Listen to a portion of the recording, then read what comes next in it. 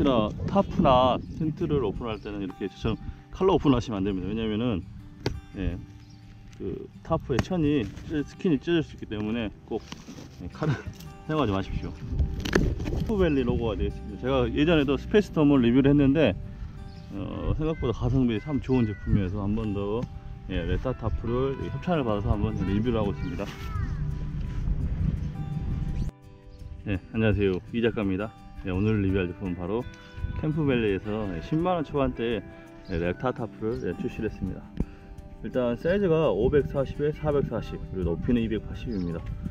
네, 과연 10만원 초반인데 이 가격이 나온다는 게 저는 신기한데 한번 개봉 한번 해보고 설치 한번 해보겠습니다. 일단 오픈을 한번 해보면 일단 스킨은 지금 이 주황색과 그리고 이 카키색 카키색으로 되어 있다는 겁니다.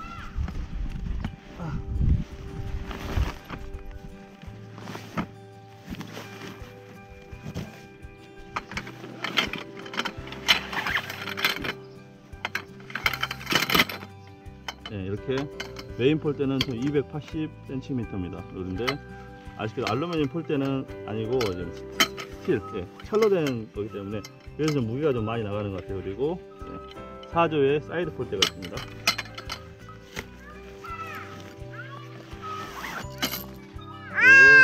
예, 팩은 예, 이런 팩이 예, 들어있고요. 그리고 스트링할 수 있는 예, 엄마. 로프 몰라. 메인 로프 그리고 예, 사이드 사이드 로프가 이렇게 있습니다.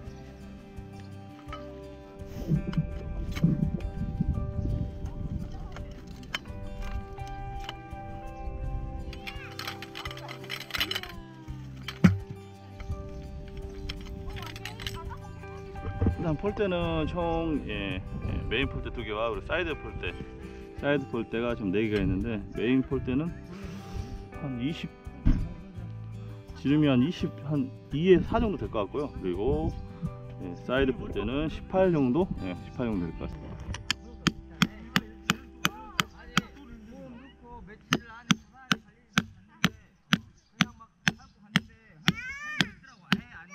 어, 예, 타프를 일단 설치하기 전에 일반 기본적으로 그 렉타 타프를 설치를 하시려면은 양쪽에 기둥을 두 개를 먼저 이렇게 세우시면 됩니다.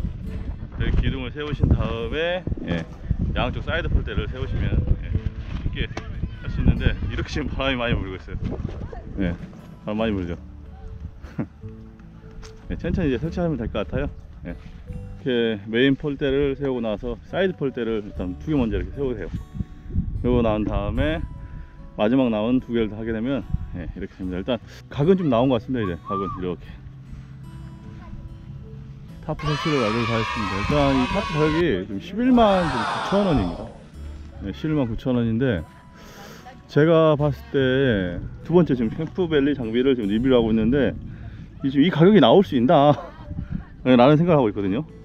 지금 11만 9천 원인데 제가 가장 마음에 들었던 게 뭐냐면 지금 이 스킨이에요 스킨. 스킨이 지금 제가 캠프타운 여기 보면 저기 캠프타운 제가 헥사타프를 지금 사용 중인데 와 진짜 스킨 좋은데요 스킨. 스킨 진짜 자- 네, 두꺼워요. 보통 그 타프가 그 폴대 값도 있긴 한데 스킨 값이 되게 가- 많은 돈을 차지를 하거든요. 근데 어 스킨 좋습니다. 스킨. 아, 진짜 캠퍼밸리 제품을 항상 볼 때만 느끼는 건데 하, 진짜 이 가격에 돈이 남나? 예. 라는 생각을 하고 합니다. 일단 그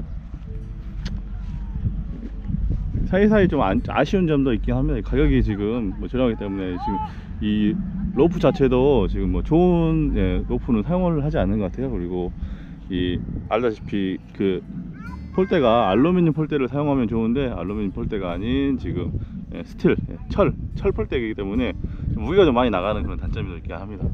그렇지만은 제가 제가 생각할 때는 절대 이 정도 가격에 타프를 팔면 남지가 않을 것 같은데 하, 진짜. 처음으로 제가 렉타 타프를 설치를 해봤는데 헥사나 렉타나 지금 설치하는 시간은 비슷비슷한 것 같아요. 그리고 그렇게 어렵지 않은 것 같습니다. 그리고 혹시라도 지금 이 타프가 좀 불안하신 분들은 지금 여기 지금 스트링이 지금 하나밖에 없는데 여기에 지금 스트링을 하나 더해서 이렇게 두 개 스트링 하시게 되면 좀 더 훨씬 더 예, 견고하게 예, 타프를 설치할 수 있습니다. 저라면은 살것 같습니다 이 제품은 예, 감사합니다.